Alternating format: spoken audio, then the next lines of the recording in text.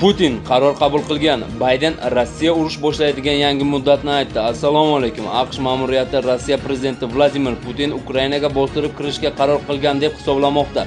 Kecha 18-fevral kuni Oq uyda jurnalistlar bilan suhbatda AQSh prezidenti Jo Bayden Amerika tomonining fikricha Rossiya rahbari yuqorida qayd etilgan qarorni ma'qullaganini aytdi.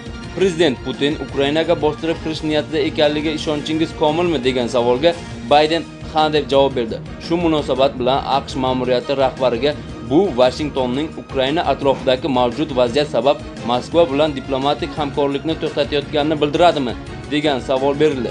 Yo'q deb javob berdi Bayden. U buni qilmaguncha, ya'ni Rossiya Ukrainaga qarshi harbiy kuch ishlatmaguncha diplomatiya har doim variant bo'lib qoladi degan Bayden. Putin diplomatiya variantini ko'rib chiqayotganiga ishonish uchun qanday asoslar borligini tushuntirish so'ralganda Oq uy rahbari shunday javob berdi. Bizda katta razvedka salohiyati bor. Baydenning aytishicha, Rossiya kuchlari yaqin kunlarda Ukrainaga hujum qilish niyatida.